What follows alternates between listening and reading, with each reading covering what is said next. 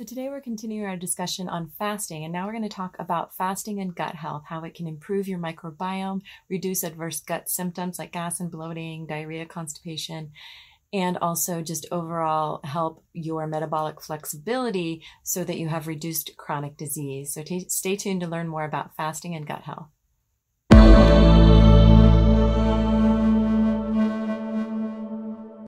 So today we're continuing our discussion on fasting. Last week we talked last week we talked about fasting and brain health. Today we're going to be talking about fasting and gut health and how fasting can re improve our microbiome, reduce bad gut symptoms that I see a lot in my patients.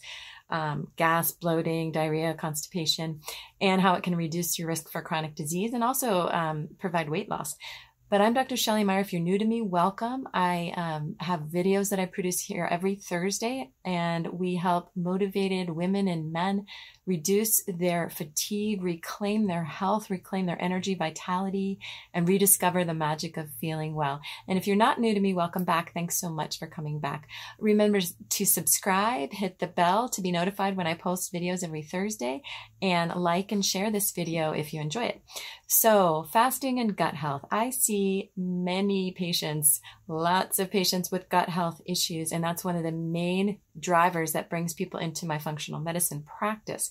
So, it's a really relevant topic, and fasting is a very um, beneficial way to help your gut. And it's also really trendy right now. So it's a good thing to talk about because people are asking about it and they want to learn more about it. So in my last video, I talked about what fasting was. I've covered it in several other videos, so I'm not going to go into that again. So there's fasting and there's time restricted eating. I'm kind of using that word, those words interchangeably today.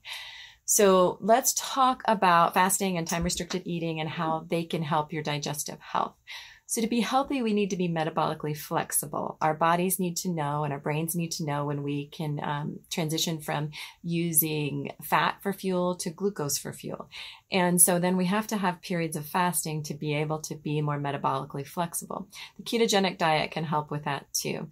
And caveat, um, remember, I am a doctor. I'm not your doctor. So always, if you're making any of these changes with fasting or ketogenic diet or anything that I've talked about on my channel, to discuss it with your healthcare provider for your safety.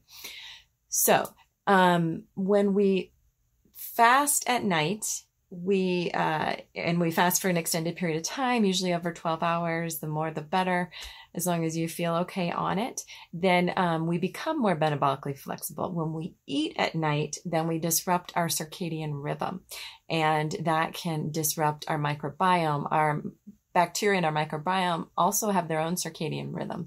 So we don't want to be eating at night. And even when we're working like the graveyard shift or you're doing some kind of job or travel, jet lag, that kind of thing, that disrupts our circadian rhythm, that can also disrupt our microbiome. So our microbiome is very on track with our circadian rhythm.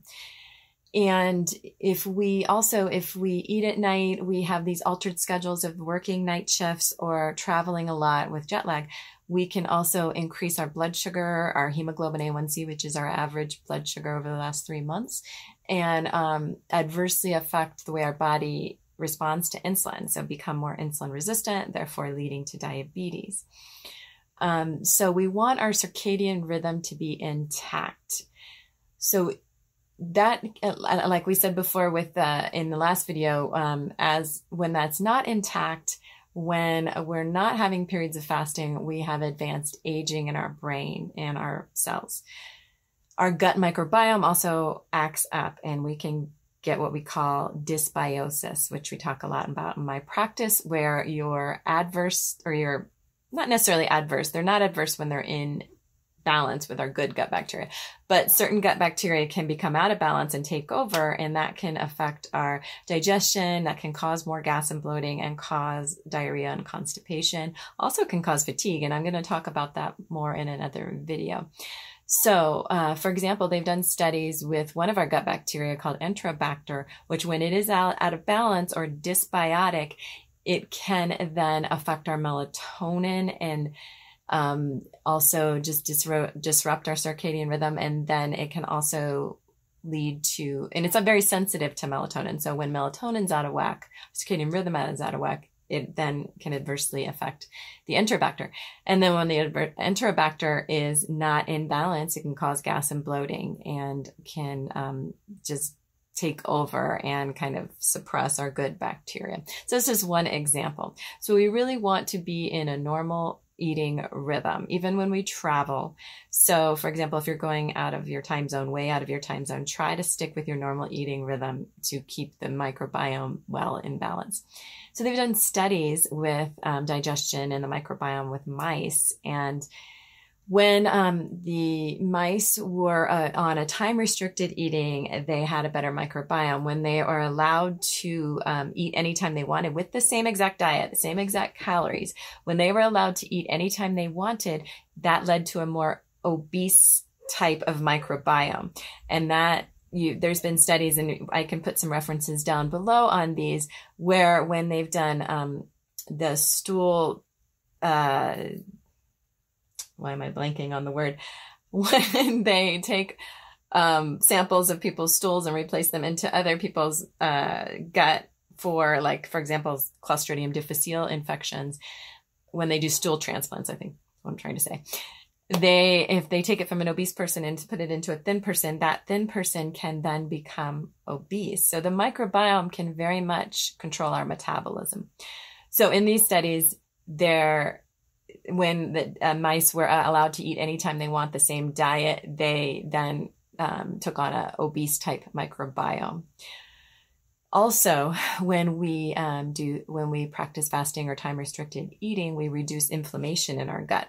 So I have a lot of patients that come in that are just really inflamed in their gut, and when we do like a certain cleanse or um, uh, bone, sometimes a collagen or bone broth, if they're not vegetarians like myself, uh, diet for a few days that can reset that inflammatory cascade and reduce it.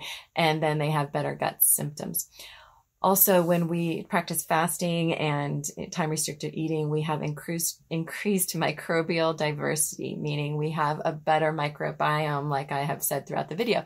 So we have a better balance in our microbiome. We reduce our gut permeability. We have less leaky gut. And then I'll attach, I mean, I will put up here somewhere um, a link to a video where I talked about leaky gut and how to reset a leaky gut. But one way is to to practice fasting and time restricted eating because that can help uh, to repair the leaky gut. Our gut then doesn't let all these things come through that then trigger other things like inflammation, autoimmune disease, all the bad uh, symptoms, small intestinal bacterial overgrowth, all the bad gut symptoms, and small intestinal bacterial overgrowth. So it can help our gut permeability. Also, um, practicing fasting or time restricted eating improves our metabolism.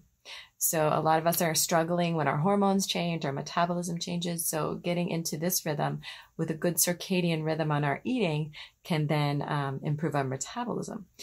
And then the added bonus that we see a lot of times with uh, fasting and time restricted eating is weight loss even just like with the mice, even when people are eating the same foods and just eating them in a time restricted way, they can have weight loss. When we have weight loss, a lot of times we can then have a reduced risk for diabetes also. We can improve our gut microbiome. So it kind of cascades into all of these other benefits. Another benefit I want to talk about is when we practice time restricted eating or fasting, our pathways that detoxify are less congested. Our body, our liver, our detoxification pathways are not focusing on digestion, digesting a big heavy meal. They're allowed to put all their energy towards getting those toxins that we may have accumulated from our environment, from our food, from our water out. So we give more energy to that liver to detoxify the toxins, and then we get a better um, overall you know, less inflammation, we have less of the the problems from the toxins because the toxins can really get in the way of our vitamins and our minerals. So we have better vitamin and mineral uh, levels in our body. And that cascades into so many other organs. So when we don't congest our detox pathways with heavy meals at night and, you know, just constantly having to digest, we then are free to detoxify. And we'll talk more about detoxification on this channel. I have talked about it before, but it is a fascinating process. So we might as well make that process easier by practicing really what our ancestors did, what animals do, by restricting the amount of time that we eat. But again, always make sure it's safe for you. So I'm Dr. Shelley Meyer. Thanks for joining me. Remember to subscribe, like, share, in the description down below, I have access, I give you access to PDFs that then support all the material that we talk about here. So you don't have to take notes. There's benef- there's um, PDFs on the benefits of the mitochondria. There's going to be information on fasting there, information on weight loss, the ketogenic diet. So really join our email list, check out those PDFs. And then when you do that, you will have access to our Fullscript um, online dispensary of um, uh, vitamins and minerals and supplements that are approved by me and other functional medicine doctors. They're really doctor quality, and you'll get a discount there too. So leave uh, your information if you go to drshelleymeyer.com I'll flash that here. You can get those PDFs and get that discount. And then also in the description down below, I have some links on some products that help help um, maintain fasting, but they don't take the place of fasting. Um, some powders that can be used while you're fasting to help improve the effects.